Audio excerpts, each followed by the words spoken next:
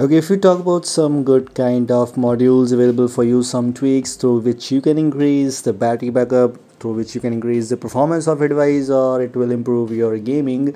We have another kind of tweaks available for you which is called Raiden tweaks.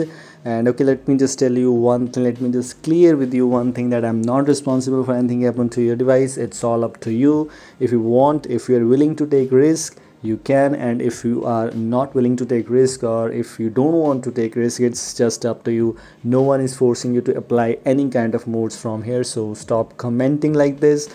Balanced performance battery gaming these are some four profiles which you get by default.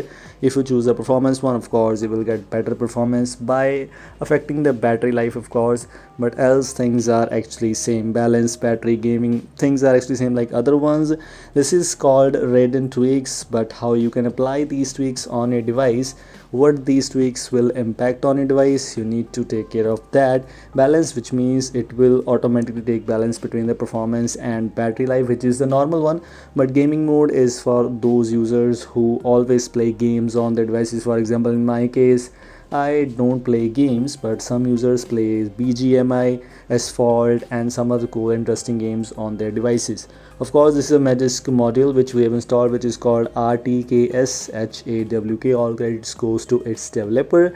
And how to install this module of course it's very easy to install but I think still I should share with you the process to install this. But the first thing is as I've installed it on my device so the first thing is I need to uninstall this module from the Magisk and then I'll get back to you very very soon.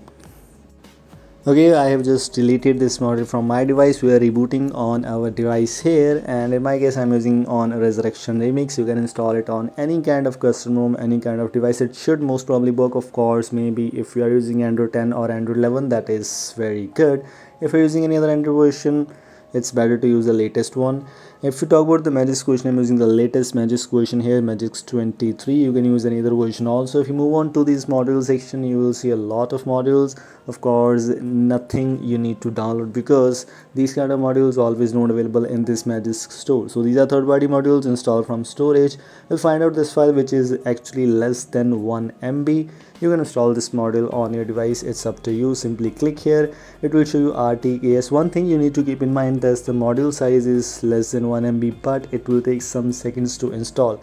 As you can see it will take approximately of 30 seconds to install on your device so you need to be patient. Don't worry you don't need to stop anything. It will not abort and also don't need to worry about it will be installed on a device you don't need to choose any kind of things from here. But as i previously mentioned already it's better to install with your own responsibility. No one other no one is responsible for anything happen to your device. Your device is almost your responsibility. If anything goes wrong you are responsible for this. But yes it's a very good module. If you want to install it link is in the description. This is all. Thanks for watching. Goodbye. Have a nice day